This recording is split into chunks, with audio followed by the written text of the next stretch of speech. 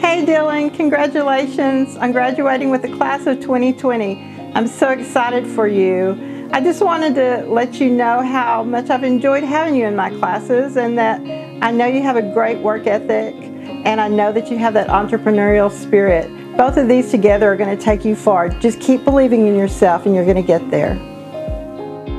Hey Dylan, it's Mr. Clark. Congratulations on your big day, sir. I'm really proud of you. Um, I really enjoyed having you in class and uh, was sad to lose you to Miss Miller in the middle of the year, but uh, I'm glad that everything worked out well for you. You have a really bright future, man, so uh, keep writing. You are an excellent writer. And uh, good luck with uh, gaming and uh, making it to the Evolution Championship Series and winning it someday. So stick with it, man. Congratulations. Really proud of you.